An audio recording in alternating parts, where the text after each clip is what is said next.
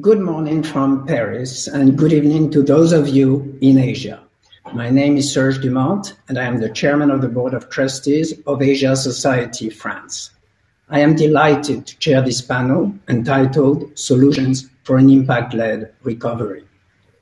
More than two years into the COVID-19 pandemic, we have now seen the devastating public health and economic disruption an, econ- an, an epidemic can cause on a global scale. The impact of COVID-19 on Asia has been considerable, and this matters as some of the most vulnerable populations live in Asia, the most populous continent with over 60% of the world's population and its economic growth engine. We saw how the private sector stepped up to the plate and in many instances was instrumental in the COVID-19 response, from testing to the rapid development of new types of vaccine and the continued supply of goods and services under extremely challenging conditions. And importantly, more and more companies are seizing the moment to realign profit with social and environmental impact. We are here today, excuse me, with a wide range of panelists and expertise on stage to discuss their views and insights on what opportunities were found amidst adversity and what lessons can be learned, and how impact led investing can better shape a response and recovery in Asia. If Marina joins us, this is a remarkably diverse panel. First, as I mentioned, if she joins us, we have a balanced, a gender balanced panel, something that is really dear to me. And while we do not have a representative from an Asian company, all panelists have a wealth of experience in global issues and Asia. Our panelists are Calvin D'Souza, Associate Managing Director, Kroll Canada, Christine Koetsier, Chief Executive Officer, GEM Partners, the Netherlands, Blessing Ayemhere, Chief Executive Officer, Umugini Pipeline Infrastructure, Nigeria, and possibly Marina Schmatova, member of the Scientific Council, Financial University under the government of the Russian Federation. You have their bios, so I will not elaborate on their background and will, without further ado, invite each panelist to speak for roughly five minutes before we discuss as a group. I will first turn to Calvin, who has lived in Asia from Mumbai to Singapore. Calvin, we have seen a major shift in Asia Pacific, where investment in ESG has accelerated massively recently. Can you tell us whether Asian companies leading the regeneration of the continent will be those that are more focused on impact investing principles?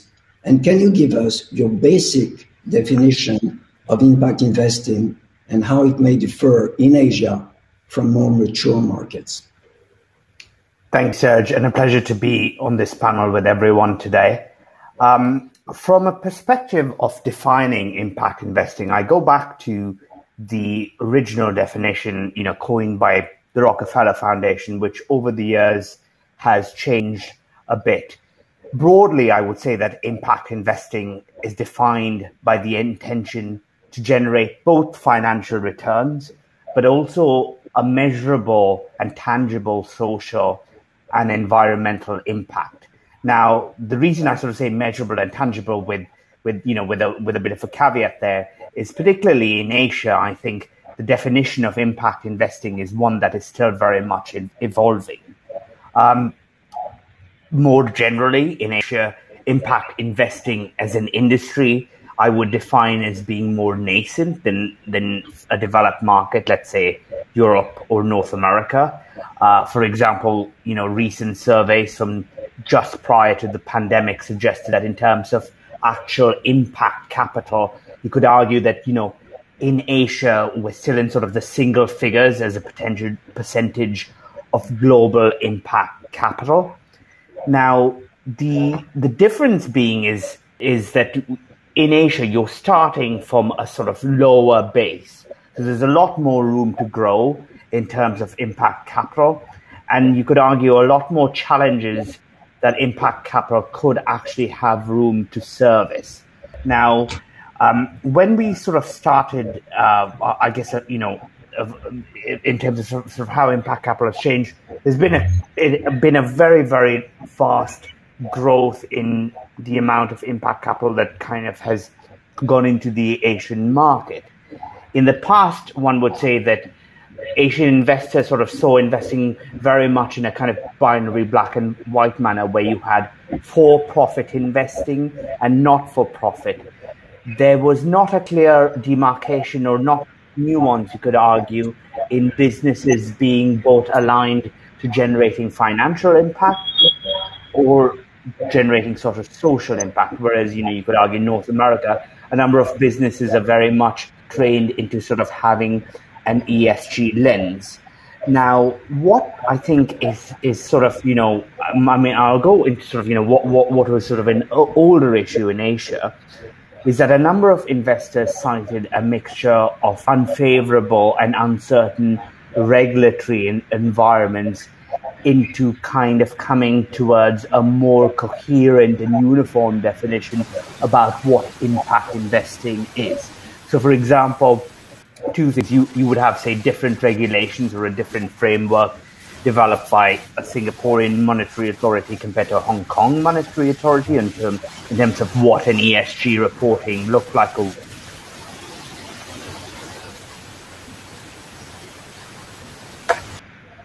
I just lost you, Calvin. You just froze. Hmm. Let's let's give him a minute to, to join again. And welcome, Marina. We're delighted to have you. Can you say a few words so we can see if we can hear you? And yeah, regulations yeah, like the PRI were more widely nice accepted. Um, and, and, and, and, and more differently as well, I think what impact investing in Asia uh, also kind of kind of was a bit different was a bit different is that you had a number of institutions like the World Bank or the ADB, which had very kind of you know operated more from a social lens and less private investors who are, you know who had that financial and social lens and sort of were able to combine it. The other big difference I think that Asia has compared to a number of other uh, businesses and say again you know the, the more you know the more kind of established world is the intricacy of family networks and family businesses uh, and that difference is kind of important in terms of you know how you have uh, how you sort of structure impact investing. Now, looking forward in terms of what we can expect post pandemic, I think there's a lot more opportunity in terms of Asia, um, in terms of how the next generation of investors or private businesses will unfold. Now, the reason we say that is two things, two or, or a few things here, and I'll just kind of briefly touch upon them. Firstly, you're going to have to see there is a vaster generational shift happening in Asia because of a you know a, a, a, bigger chunk of the population being under 30 or under 35. This will definitely see a similar value shift in terms of digitization, also an increased in I guess acceptance, but also interest in ESG issues amongst younger people. Um, and and, and you're you know you're similarly seeing sort of supply chains in most parts of the world now gre- greening or greenifying an increased focus in people wanting to kind of you know take climate change more seriously um, as well as kind of invest in businesses of the future south asia southeast asia south asia particularly has a bigger imperative for example to green its supply chain many countries across the region will face a lot more of the devastating effects of climate change similarly you have a number of kind of countries where the state or governments are very cash strapped. So you're not going to have a situation where governments kind of step in to sort of assist various sectors um, across the country. So you're going to need the private the sector to play a more histo- you know, more kind of forward-thinking role in investments, whether it be in you know in renewable energy, in green buildings, uh, even in infrastructure, you're going to need sort of the private sector to kind of come in. And so I think here here you're going to basically have in Asia two broad thrusts. You're going to have, you know, big multinational enterprises. that can cite, for example, Unilever or Samsung, which are both looking to kind of move into sort of certifying their supply chains or certifying, you know, the, the, the types of material that's used in their buildings. And then you're going to also have, you know, more local or smaller scale um, companies in Asia that will that will require funding. So we're talking about kind of small and medium term, medium sized enterprises that are looking to both be in, you know, both generate a profit, but also offer solutions to the kind of problems that arise in sort of specific countries. So, for example, in India, you have so the need for greater energy independence, and so you have a lot of firms now investing in areas like solar energy or in sort of solutions that kind of help people to kind of access energy or banking, for example, in the villages. So there is a lot of area of growth, and I would say, uh, you know, just quote another couple of small small statistics before we sort of move on here. Since COVID, a recent survey done by the MSCI, you know, global kind of framework of reg- regulations, has stated that over 80% of investors in Asia Pacific now cite ESG investments as being significantly or moderately impactful in their response to COVID.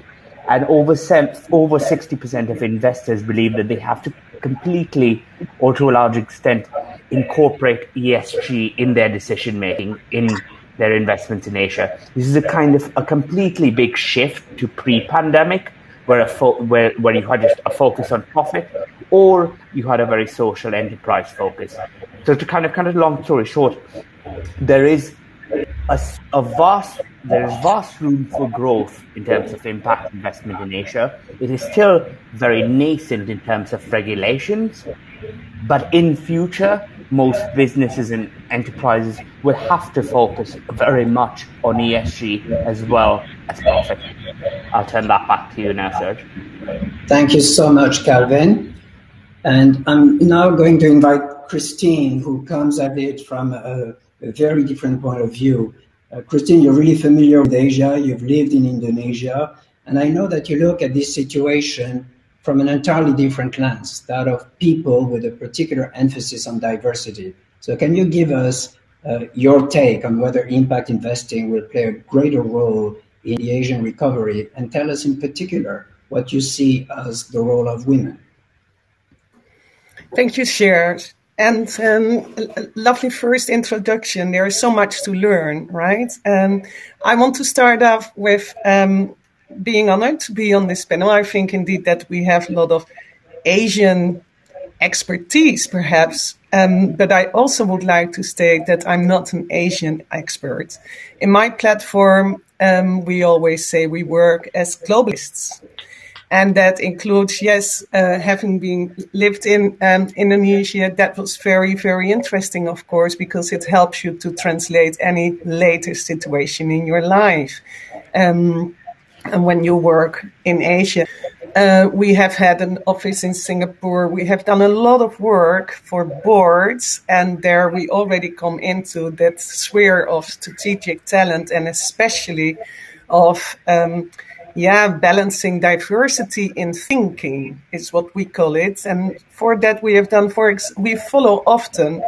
Uh, with my platform, the legislation and regulation, to just give you a simple um, example and statistic how how we can impact the impact thinkers, right? Uh, when law changed and so regulation and legislation changed in Malaysia several years ago, uh, we were honored to work together with groups that then led over 1,300 well qualified, of course, um, um, feminine, oh, sorry, female executives and experts through our training and certification and bring them much better positions into boards.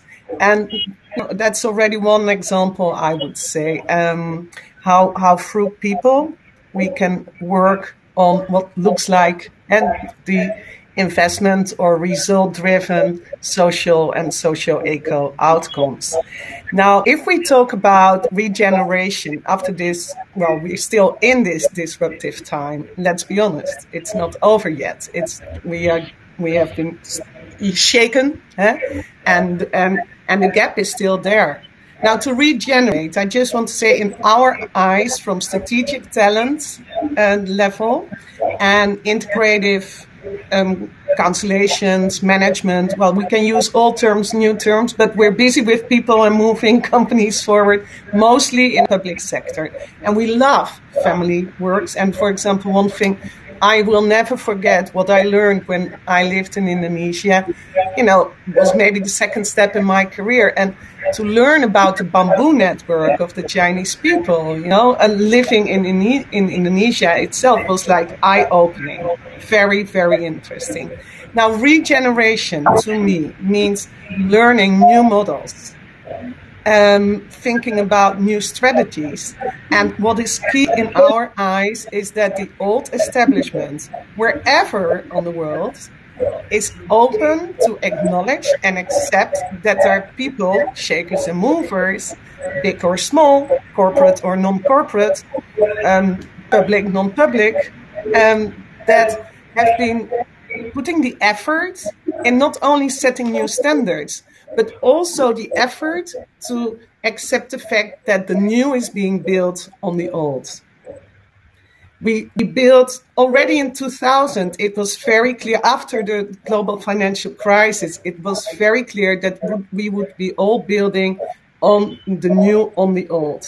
Well, we didn't learn enough, did we? So now we get shaken again. We are, and I think that is to non-dispute of anyone, we are in, in in the energy where where the feminine principle comes more to life.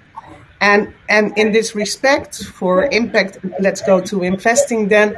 In my circles, what we see is very strong gathering and, and new models and, and new circles from yin investors. I find it such a fun term. Don't you think so? Yin investors. So the female investors. What is they're it? fantastic. Yin yang, right? Yin yang from yin yang, and uh, they pop up everywhere. Very strong circles, and how are they connected? They are connected often globally.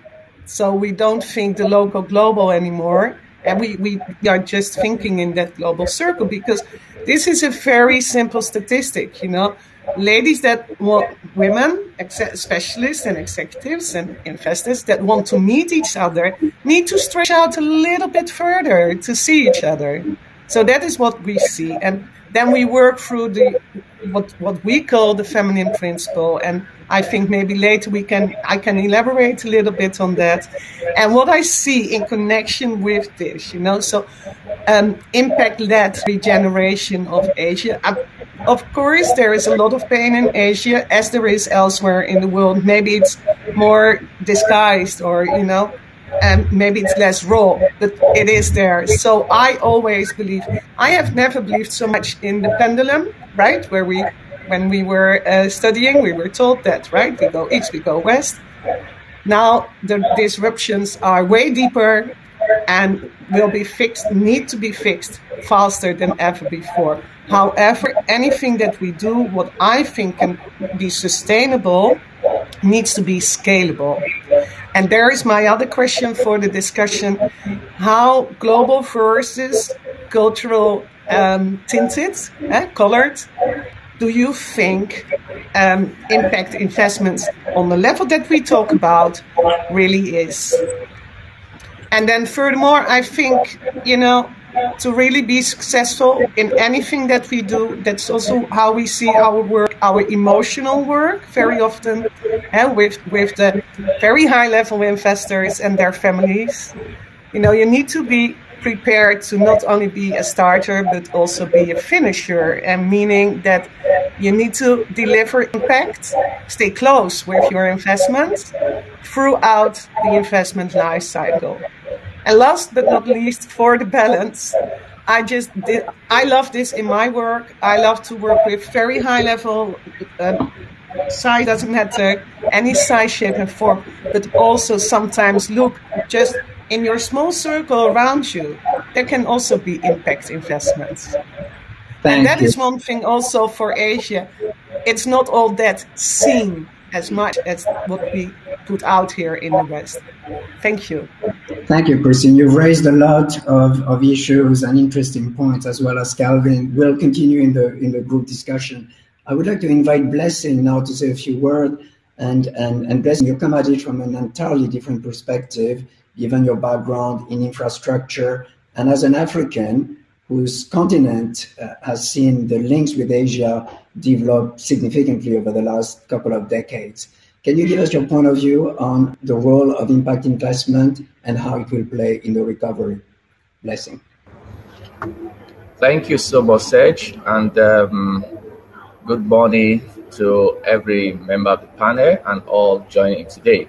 It's quite a pleasure to be here um, discussing um, solution to impact-led recovery. I must thank um, Kevin and Christine for laying a very solid foundation and driving us with, with uh, provocative thoughts as to, to this. Starting from me, um, I will say I've not um, lived in Asia, um, neither do I have a business. Do I have business in Asia? I live in Africa and I do business in Africa. However, I have had reasons to partner and to do business with um, Asia companies and I know um, to a very large extent the commitment and the focus that some of these companies do have in terms of you know, their investment and driving towards the impact side of investment. I think from my perspective, I will share, given that there is huge similarity between Asia and Africa in terms of population, uh, in terms of um, demography and, and, all that. So I will use my company and my understanding of the Africa market as a case study, you know, of, of what I think that um, the Asia uh, firms and entities can do as well. I think we all know, um, Kevin did allude to this as well as Christine, the effect of the pandemic has been very devastating on everybody across the world. And Asia is not spared from that at all. So the focus of government has been recovery. All right. How do we survive? How do we survive the pandemic? And what has this done? It has created gaps. All right. Instead of focusing on things like infrastructure, focusing on elevation of poverty, reduction of poverty, creating other infrastructures, what we have, therefore, is focus and resources being channeled to how do we mitigate, you know, how do we survive the effect of the pandemic. And this impact is not going to go away overnight. Huge resources have been committed, gaps have been created. And so it means that for any government, especially in Asia as we speak today, to recover from this and be able to still focus on those things that will impact the populace, you know, impact and affect the citizens going forward. There is need to think a different strategy. And I think that's where impact investing comes in here, where we need to, you know, encourage collaboration between the government and the private sector. All right, where the government also need to recognize the fact that there is need for that partnership for us to deliver the dividends of governance. And that dividend of governance includes ensuring that the people are catered for, that will continue to reduce the impact of poverty on our people. We also continue to ensure that we create infrastructure that will enable people to unleash their potential and their talents. Okay, so before now, impact investing have been seen um, as a CSRO issue. So you invest in it, you don't look at return. But I think that has changed. Impact investing today is different. It's about focusing on sustainability and at the same time looking at returns. You are balancing both of them. You are looking at the effect of social impact. You are looking at environmental impact. At the same time, as a business, you are looking at the return, you know, that you have on your investment. So in Nigeria, and especially in my organization, what are we doing? We are partnering with the government, we are partnering with the community, and we are partnering with all the key stakeholders to ensure that this impact investment is, you know, um, not just what we say, but we are practically doing it. So I operate in the energy sector, and we need community engagement and what we call license to operate. The reason is because we operate in communities and our operation have the potential to negatively impact the environment. All right? Because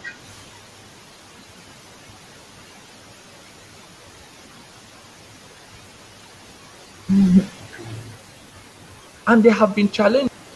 Companies have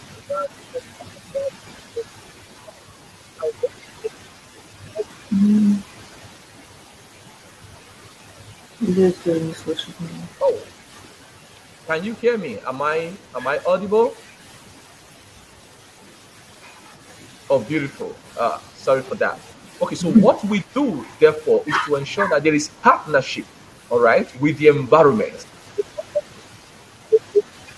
In terms of environment, are you going to finish your business and go away, and the people don't have life to live again? They don't have, you know, sustainable, sustainable uh, means of livelihood? No, we, as we do our business, we are mindful of the fact that the environment must be preserved. And so the issue of energy efficiency is in the forefront of our business. The issue as well of the impact on climate issue is also being considered. We are also careful and mindful of the carbon emission that our, that our, that our operation, you know, creates in the environment, in the society.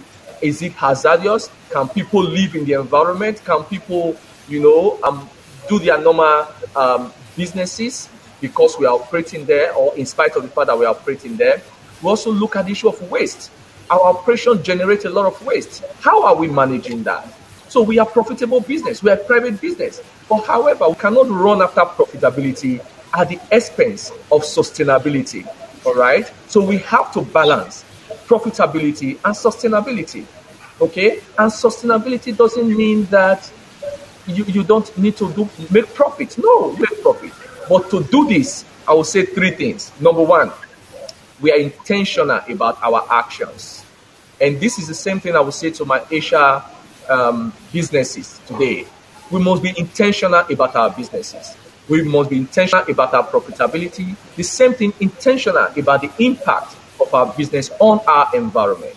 It has to be deliberate. We have to look at that. We must also focus on returns. However, in focusing on returns, it should not be short term returns. We must focus on return on the short term, on the medium term, and the long term. Because if we can balance this, then we are able, you know, to put those together very well. Our strategy, you know, for this will be okay. And lastly, uh, it's like my time is running up. And lastly, I will talk about measurable, you know, indices, you know, for impact investing. How are we measuring? How are we reporting, you know, the, the, our operation in terms of ESG? Are we reporting properly? All right. Are we disclosing them? And I'm, I know that there are companies in Africa today like um, Risk Insight um, that are measuring ESG issues on, on Africa businesses. So there are templates that people are using today to measure those ones. So we must be able to also measure. Thank you so much, um, um, Serge and everyone. Thank you. Thank you so much. And Marina, we're going to give you welcome again. I'm glad you could make it. Uh, we're, we're going to ask you to be short so we can have a conversation with uh, the group and invite questions. Um, you, you come from an entirely different perspective, being Russian, and you have significant experience in impact investment in both South Africa and Central Asia. So can you share your views based on that experience? Oh, nice to see you all. Thank you, Serge.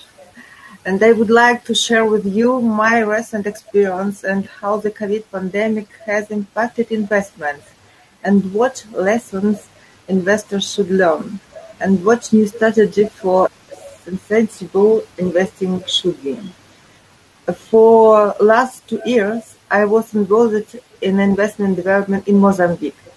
We implemented a number of waste-to-energy projects and created an industrial park and, car- and carried out several um, other infrastructure projects. Analyzing the country's potential, which is more or less typical of the entire African uh, continent, we saw limitations in the cotton sector during the pandemic. Previously, raw cotton was uh, exported in Asia, China, Bangladesh, and many other countries, and processed there up to the final product, which was imported into Africa for consumption. This this is the whole variety of cotton of, cotton products, including clothing and uniform, underwear, many other cotton products, including even medicine, absorbent cotton, and another. And this business model was traced its own uh, direction. Raw materials were exported and processed in other countries and, re- and returned in the form of expensive product. Surprisingly enough, the situation with the world pandemic made all economics look more seriously at the possibility of their uh, countries and begin to strengthen their, the processing of all kinds of raw materials inside the country. Our corporation decided to uh, optimize the cotton value chain locally and there took me to Asia, uh, particularly to Uzbekistan, where an integrated cotton value chain was uh, recently implemented, implemented as an, as, as an um, national cotton cluster policy and this experience has been very successful and has created sustainability and is one of the good examples of impact investors. And I have seen that the most optim- optimal investment and value um, added given the pandemic situation is the development of faster economic within countries.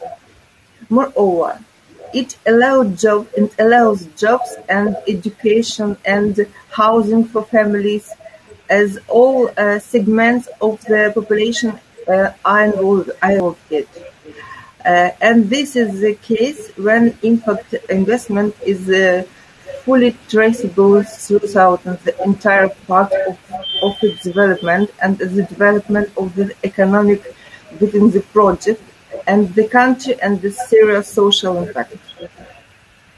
Cluster uh, of the model as impact investment as a sustainable development. Uh, integrated cluster project requires reasonable combination of the transport logistics, energy supply, capacity building and education, development of social infrastructure, housing, healthcare, and another. And our company has signed a number of cluster development projects in Uzbekistan, and next year we will transfer uh, this experience to Africa, uh, in South Africa countries when.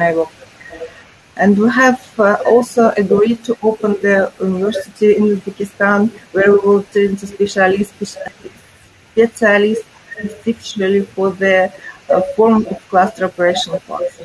And uh, it's my this is my uh, experience in the impact investment in, uh, in Asia and Africa too. It's uh, and, and we can trust it, this experience for another directly. Thank you for your attention and hope you a long team cooperation and friendly and friendship. Thank you so much, Marina. I think what we'll do now is, uh, if we can get blessing online again, is to have uh, more of a group discussion. A lot of very good points have been raised. Uh, and from my perspective, one point uh, has really struck me during this crisis is the question of profit versus social good, and also inequity in terms of access to the vaccine. 70% of the population in the, the developed countries uh, is vaccinated versus roughly 5% in the rest. Access to uh, to um, oxygen tanks or hospital beds. So how can we do better? Can you please elaborate on that from your perspective? A question for me? Question for everybody. Ah, okay, okay. Mm-hmm. Uh, okay. Uh, Calvin? Uh, yeah, if you don't mind, um, just very quickly, I, I, think the the particularly in Asia, you, you bring up vaccination as an issue in so many ways, the pandemic has meant that a lot of the strides forward in terms of poverty alleviation have ceased for a moment. The pandemic has kind of demonstrated vast inequalities in countries. And I think compared to a lot of countries in the more developed world, again, you have a number of Asian governments which aren't able to fill in the same vacuum in terms of deficit spending or, I mean, general spending to kind of alleviate poverty and, and, you know, and improve infrastructure. So again, how we do better is probably a mixture of public private partnerships again. You need to attract investor funding in any way um, and basically marry that imperative with social purpose. So whether it's in the form of kind of, you know, generation of, of, of things like vaccines, better health care, infrastructure dev- development, um, and even, you know, environmental issues. So I think going forward, most, most sort of Asian economies will look to this private public partnership to help in sort of, you know, bringing Asian countries back to where they were before. Uh, I, I know, Christine, you want to say something, but before you do so, I'd like to welcome anybody from uh, the audience to ask questions. If you want to do so, you have a little microphone at the bottom. Go grab the mic. You just grab it, and I'll let you ask your question. So if anybody wants to do it, you can do it now. Otherwise, whoever wants, I believe Christine wanted to say something already there. Mm. Okay, we have a question from the floor. Go ahead.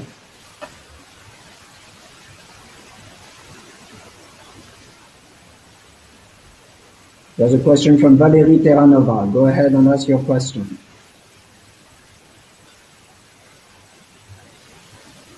We cannot hear you, Valerie. Yeah, we can we can see you, we cannot hear you.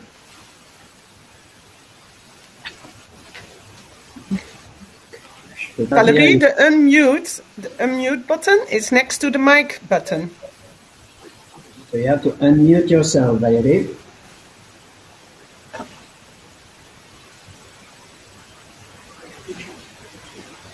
Uh, well, there is nothing I can do.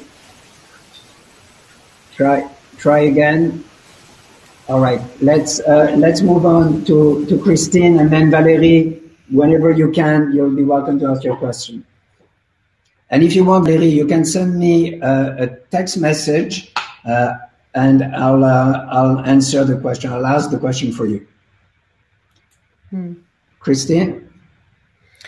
I think, Serge, the point that you raised about in, in, inequality is so super important. And then and the, the point that you raised about um, PPPs, uh, public-private partnerships, and that in combination with impact at, um, impact investing may may yeah demonstrate to be a bit risk risky still for both parties perhaps and for the governmental parties and the public parties um, and here I come with my and with what we we call with my term the feminine principle, where and that is not only for females, of course. It's it's the it's the, the outbalancing masculine and feminine models, even as where linearity is often seen as the masculine principle.